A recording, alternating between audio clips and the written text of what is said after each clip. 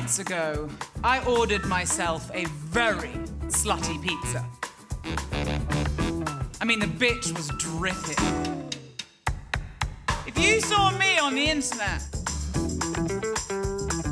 would you click on me? I have a horrible feeling that I'm a greedy, perverted, morally bankrupt woman who can't even call herself a feminist. Do I have a massive